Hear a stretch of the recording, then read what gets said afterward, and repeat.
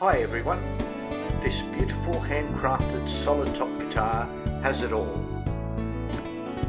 A mahogany back, a thin V-shaped mahogany neck, mini Gotoh style machine heads in satin black, a beautiful abalone shell rosette, an innovative design with a hand sculpted mahogany armrest.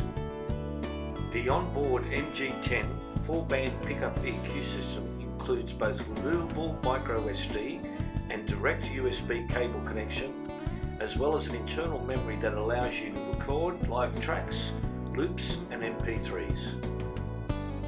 Also with inbuilt guitar tuner. With easy battery access, beveled edges all the way around, and beautiful pearloid dot markers. Caraya A2, a beautiful solid top electric acoustic with MP3 player. What a great idea.